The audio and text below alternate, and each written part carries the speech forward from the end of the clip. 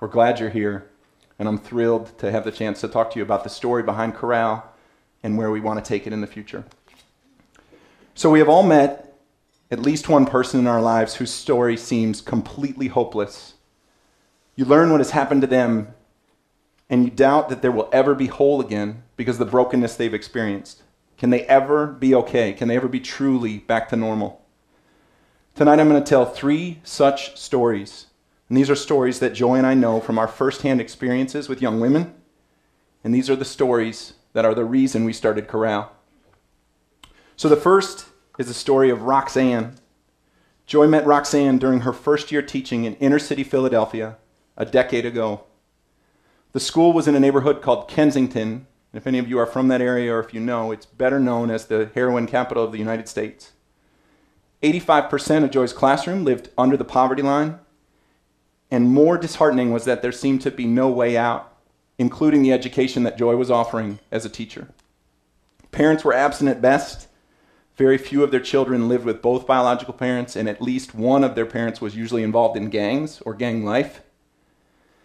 And when the parents were called to a parent teacher conference, for example, Joy tells me that they were completely aloof. They often showed up drunk or high.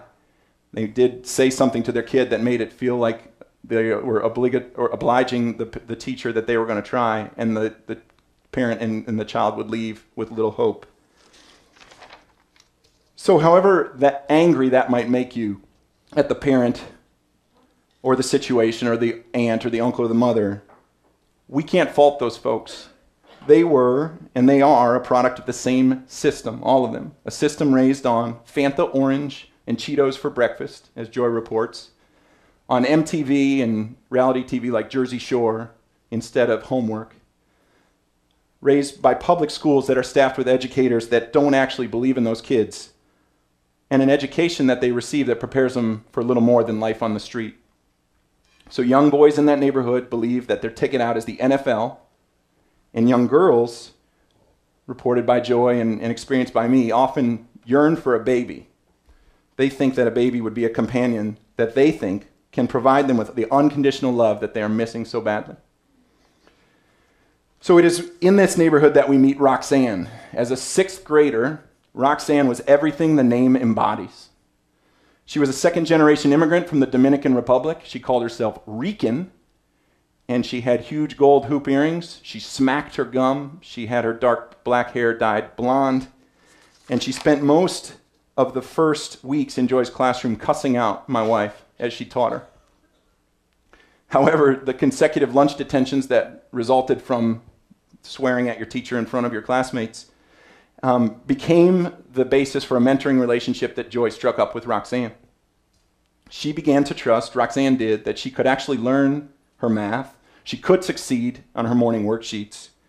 And each time that she chatted with Joy, they built a relationship, and eventually she reached out to Joy for, hope, for advice on girls and life drama and all the things that keep a sixth grader up at night. In that context, one day, Roxanne shared the unthinkable, and she disclosed to Joy that she had been raped. The aggressor was a 35 year old relative her disclosure was quite casual, but more disturbing was that she said it's no big deal. It doesn't really matter. And there's no adequate response in this situation. What do you say? Joy didn't have one. She had no idea, however, at the time, that God was preparing her to hear this story multiple more times over the course of her professional career. So the following year, Roxanne was back, this time a seventh grader. She was pregnant. She had begun to buy into the ideas, however, that Joy had tried to put into her head that she could learn, she was smart, and her education was important. But after she had her baby that summer, came back in eighth grade, the level of try had evaporated. She was hanging out with the wrong kids, and she basically had given up. we didn't blame her. There was no good answer for Roxanne and no system, no program that could fix all that was wrong for her in her life. We were angry, angry at the privileged in Metro Philadelphia for turning what we thought was a blind eye to Kensington and Fishtown and Roxanne, angry at the politicians who chose to get reelected instead of the hard work of fixing the education system, angry at the families who allowed injustice like this to persist. But what is most infuriating is that there are no good solutions. Joy pursued teaching as her first job because she thought the education system was broken. And what we found instead were broken communities filled with broken families and broken individuals in those families with broken hearts. Families who lack adequate resources, as many of you know, are prone to abuse, they're prone to trauma, neglect, and ultimately prone to hurt, and a lot of it. So, as you may know, abuse and the hurt that comes with it is much more prevalent in neighborhoods like Fishtown. So, stick with me tonight. It's a heavy open to the talk, and I, I promise you that we will end on a hopeful note, but I'm going to tell you a few more stories. So, what we learned in Philadelphia, and what we have come to believe is really going on, and why we built Corral, is to address that individuals have been hurt like Roxanne. And the concept is that, that they're hurt as children they carry that deep hurt and those deep scars into adult life and sometimes pass those scars to their children. Often they do. Their children will likely experience the same set of issues, and this is a cycle. It's not a cycle of poverty per se, it's not an institutional racism cycle, in our opinion. It wasn't even necessarily a broken educational system, but instead it's pain and hurt. Babies like Roxanne, whose trauma is so significant that research shows it actually rewires their brain and before they are able to appropriately heal and realize that these children of God are deserving of better, they have their own kids and repeat the cycle with their own situations, just like Roxanne. So, flash forward, October 29th, 2010. It's about five years ago. Now in North Carolina. Joy and I are recently married. And we want to tell you the story of another girl, not too dissimilar from Roxanne she disclosed to Corral her violent story of abuse, and her name is Danley, and this is her story.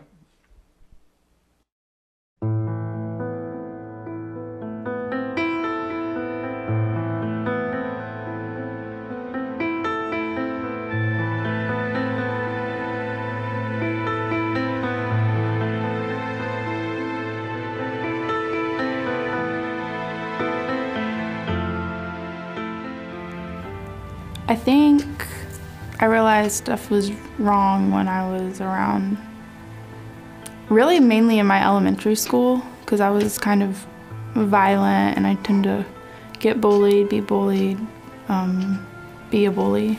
But I think by the time I was 12, I was really kind of acting out. Starting arguments with my mom, like pulling knives out on my family. Just crazy stuff. Outside of school, I was hanging around with gang members, older guys, um, friends my age, but they were doing everything I was, so, and worse. Gang life led me getting in trouble with the law, getting raped, getting, I don't know, in situations I should have never had to go through.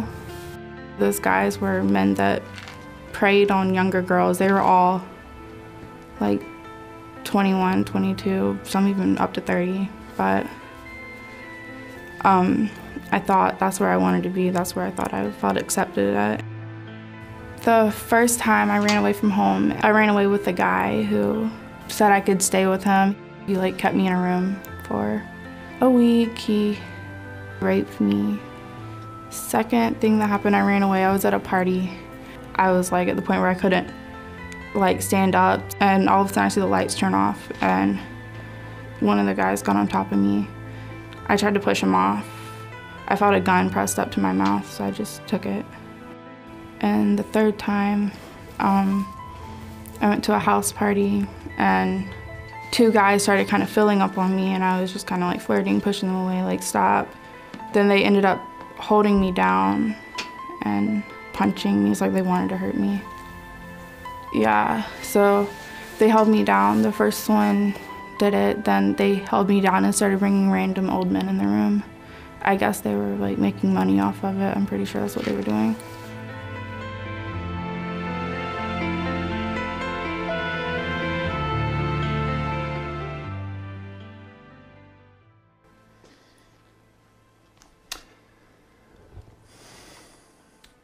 Brokenness like Danley has experienced doesn't happen in a vacuum. It's part of the cycle of hurt that I mentioned earlier before. Danley was the product of an environment where abuse passed through her family tree like a genetic trait, like high blood pressure or high cholesterol. Danley was abused physically and emotionally by her father from the age of two. A church going man, he justified the abuse under the banner of God. This was perhaps not surprising because her father had been abused in turn by his father, Danley's granddad. And on her mom's side, Danley's mom grew up with an alcoholic father. And so it was clearly a cycle in their family. When Danley came to us, she was living in a group home because her home had become so unstable. As you heard her mention, perhaps she was pulling a knife out of the drawer and terrorizing her mom. As a 14 year old, she told Corral that her only hope in life was to have a baby. Her GPA was 1.3. She had a revolving door of boyfriends, and she was doing anything she could to cover the hurt that she felt. This is not a cycle of alcoholism or racism or poverty. This is a cycle of hurt. No system, no program, no government handout can end the cycle of hurt. And unfortunately, feeling compassion on that situation alone is not enough. So Danley first opened up and disclosed the violent story you heard to Joy and the staff at Corral. She didn't tell her own mom, but she disclosed to the staff at Corral what she was going through. And we were thankful Corral was there that day. You see, young women are initiated into a gang through rape.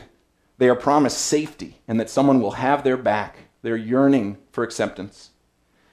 But instead, they are locked into a membership of a group that traffics women and uses them as a resource for bartering within the gang. There is no safety, and what's worse, they are threatened that if they try to leave, they'll be hurt or killed. When Danley told us this tragic story, we were instantly entangled in an impossible situation. Many of you may know that Corral is a mandated reporter, so if abuse like this is disclosed or crimes like this are disclosed, we have to report that to the authorities. But you also may know that Danley believed her life would be in danger if re- she reported because rats are treated with violence in the gang that she was in. So we spent the weekend on the phone with Raleigh Police Department, Special Victims Unit, trying to find a place where Danley could be safe and also report what had been done to her. And we could find no such place in Wake County. So at the time, Joy and I felt we had no choice and we took Danley into our apartment and let her live with us. We were waiting for a spot to open with our partner organization, which is called House of Hope in Clayton. It's a wonderful place, but they didn't have any beds, and so Danley lived with us. She lived with us for 94 days. During that time, the pressure on my young wife and our young marriage was intense. And as you most of you know, and we saw today, when it rains, it pours. So the night before Danley moved in, one of the teen volunteers at Corral showed up on our doorstep after an altercation with her family. So we talked her through that. And the next morning, Joy had her routine annual physical, where she went in and was told, surprise, um, that she was pregnant with our first child. This is an hour before she was to pick up Danley. So that was a surprising pregnancy that Joy met with fear and that she needed me to support. We have a wonderful daughter now, but at the time it was, it was a little bit much. And by the end of that weekend, Corral's only employee at the time, who was Joy's right hand woman, had a breakdown, emotional, emotional and mental breakdown, and she eventually uh, would leave the staff and left us needing help. So, over the next few weeks, I found myself in hospital waiting rooms, on the phone with police in the middle of the night, witnessing drug overdoses, and helping Joy dismiss her employee in a, what we hoped was a supportive manner when Corral needed her most. This was an intense time. And what's more, over all of this, Joy was really sick. She had in her first trimester a sickness, an intense form of morning sickness called hyperemesis gravidarum, or HG, completely unable to eat or drink anything. And I was holding her hair back multiple times a day while Danley was living with us and watching from the other room. And at the end of the first trimester, which was when Joy moved out, or Danley moved out, excuse me, Joy had lost 15 pounds. So the timing of Danley's need could not have been worse but even through all that, she found a way to be encouraged. So, shortly after Christmas, she'd been with us two months, we start to see a change. At the time, the only DVD I owned, that was before Netflix, thank you. Um, the only DVD I owned that I thought a teenager would like was The Green Mile, which is a movie with Tom Hanks that some of you may know. So we watched that with Danley twice because it was the only thing I had. And afterwards, one night, she interrupted me as we were going to bed and she said, Rob, how do you pray? So Joy and I stayed up with her until midnight that night talking about our Father God and his love for her. Additionally, when she was with us, she read the first book she'd read in a few years because she hated to read. But Joy handed her a copy of a book called Redeeming Love, which some of you may have read. It's an allegory to the biblical book of Hosea, which talks about how our Lord pursues his children relentlessly, no matter how many times they turn their back on him. So that book is 500 pages long, and Danley read it in four days. So the morning she left, day number 94, she left a note on Joy's pillow that said the following Dear Miss Joy, you guys are like family to me. You're the only person that I look up to 100%. I have learned so much from you. You have really showed me what love is. You've taught me so much about myself and helped me realize that I have the potential to do whatever I want in life.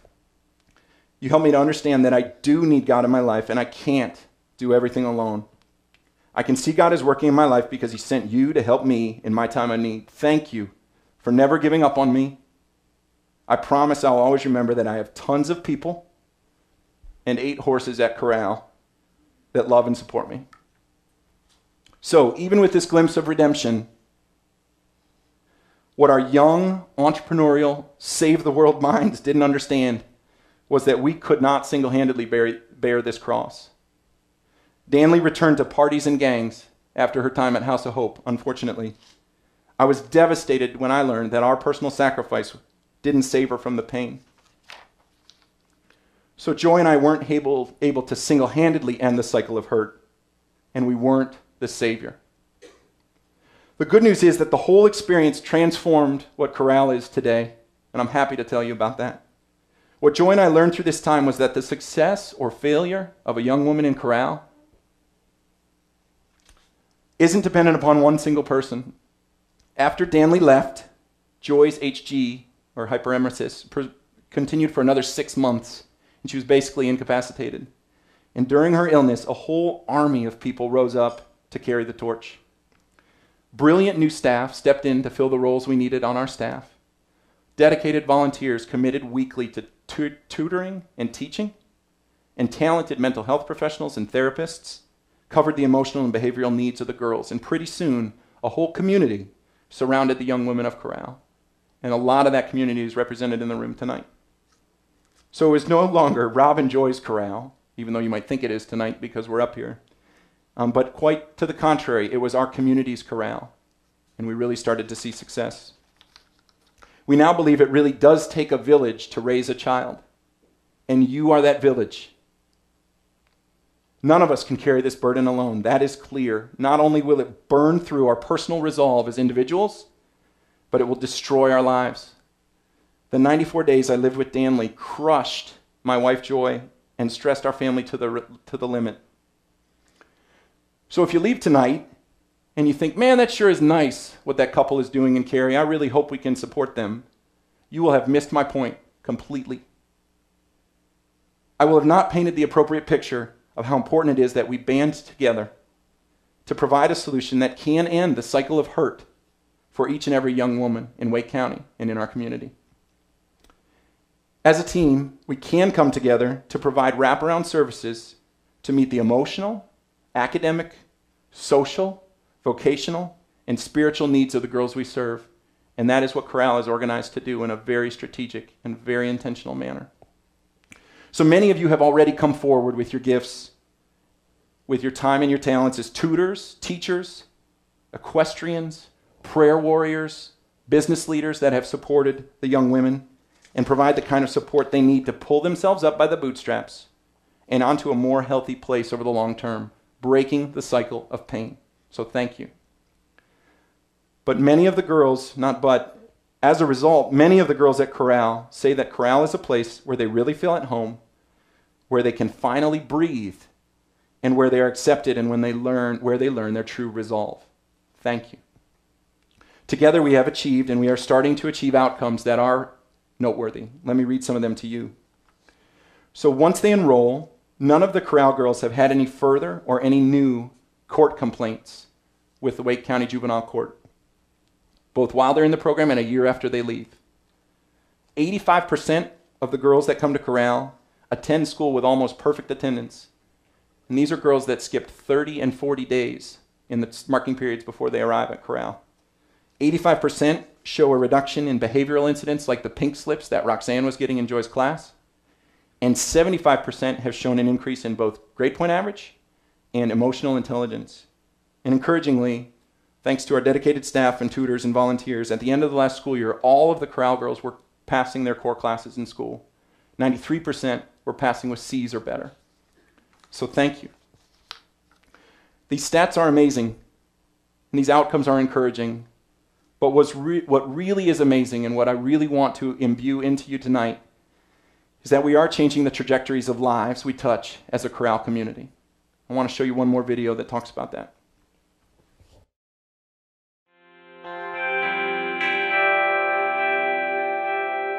In ninth grade, she started having anxiety and panic attacks and was having issues going to school. Some days I could get her to go, some days it was just I'd get in the parking lot and she would not get out of the car. We started seeing a big change in her. She had dyed her hair, she had put gauges in her ears, and she just was very angry. She had a wall of anxiety, depression, and she just wanted to crawl up in the bed. And her dad and I knew that we would have to do something. So we came out and interviewed for Corral. And the lady asked us what was our main concern. And when you go through reading the diary about how someone doesn't want to be around, how hurt they are, the color of the hair doesn't matter. All that matters is saving that child. She's gone from F's to A's and B's. And the teachers will ask me, What did you do? This isn't the same girl. Her hair is naturally blonde, it's blonde again. The gauges are gone. She's happy, she's smiling. She's going to graduate on time, and she's talking about going to college. She wants to come back and help a program like Corral.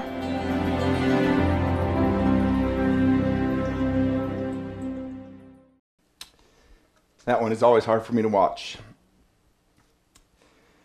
So that was Marilyn, and together, the Corral community has changed the trajectory of Marilyn's life. At Corral, she learned she was loved, that she could still love, and that she's capable. She's developed friends and learned to rely upon others for support, not the gangs that Danley looked to. And most importantly, she has learned that she is loved and cherished by the Most High God, who has mighty plans for her. So, seven years into Corral, and largely due to the lessons we learned dealing with Danley's situation and a dozen more like it, we are changing trajectories. We are turning desperate situations into precious futures. And we are seeing redemption like Marilyn's happen right before our eyes. Praise God. The same thing eventually happened for Danley. Even though her story so far might sound like the cycle of hurt has not been broken, the chapter she is writing now would suggest otherwise. I'm encouraged to tell you about it. As I mentioned, Danley returned back to gang life and prostitution. She dropped out of high school when she was 19. She briefly married a man who physically and emotionally abused her and who was gang involved. And she became pregnant with his son. But as she was starting down that path, the light bulb went off for her. She realized, resolved to herself, and put in place a plan that the cycle of hurt would end. She is now, she was now in charge of a precious baby, and she cut ties with her gang involved husband. She decided that she would not allow a father like the one she had to be involved in her son's life. She left the gang, even given the risk involved in doing so that I mentioned earlier, and she restored her relationship with her mother. She finished her GED and started college. She wanted something more for her baby. So when she gave that interview a few weeks ago, she told us that she knows she made these changes in the end because of the life she saw was possible when she was at Corral. At Corral, she learned that she was capable of anything, and if she worked hard, she could achieve it all. Importantly, she also learned that as a woman, she was a child of God and no man should treat her disrespectfully. As she described it, she, she said the following quote, I saw you and Joy and the others at Corral, and I knew there were men out there that would respect me and love me, and I wanted that for me and my son. Danley will be finishing her associate's degree this spring in medical business administration. Because of Corral, Danley's son will not be hurt by his father. Because of Corral, he will not be indoctrinated into gangs, and he will be raised by a strong mother who believes the best for her child. A stark contrast to the home she was raised in. So God worked through a terribly difficult situation with Danley. But because of the work he did through all of you at Corral, the cycle of hurt has been broken.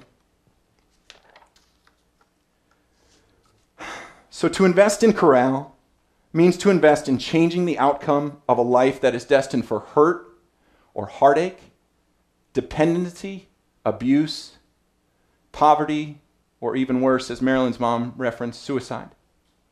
There is much more work to be done at Corral, and we need you, Corral's village, to join us and continue the momentum we are building as a community. You see, a new face showed up at Corral two weeks ago. Her name is Erica. She is also a victim of abuse, and her story is similar. She relies on manipulation to get what she wants and to cover the hurt she feels so deep inside. So Danley's story is five years old, and Erica's is just starting. But you and the others at Corral are ready to help, and I look forward with encouragement to the wonderful healing that may take place through the community of you all at Corral. Over the next year, there will be 50 or 60 more, just like Erica, that show up on our doorstep. And tonight is about getting you all involved in breaking those cycles of hurt and changing the trajectories of those lives. So at this time, what I would like to do is ask the folks who have a name tag on, you think you're special, um, if you'd stand up for me, that would be great. You're not special. but the folks that are standing represent only a portion of the village at Corral. They are our staff, our volunteers, our board members, and we didn't give out enough name tags because many of you deserve them and more would stand. But this is the village. They have made a decision to invest in the future of the girls significantly. And we ask you tonight to join them. We hope you will. We want you to. Stand with us. Stand with this group of people. The work is hard, but it's certainly worth it. And please consider partnering with us tonight and investing in Corral. Thank you. The, you can be seated. As I close, it's important to understand that any investment in Corral is an investment for the long term. You can have this long term perspective for two reasons tonight. First, your investment will break generational cycles and change the trajectories of lives. These are decidedly long term effects that will change entire family trees.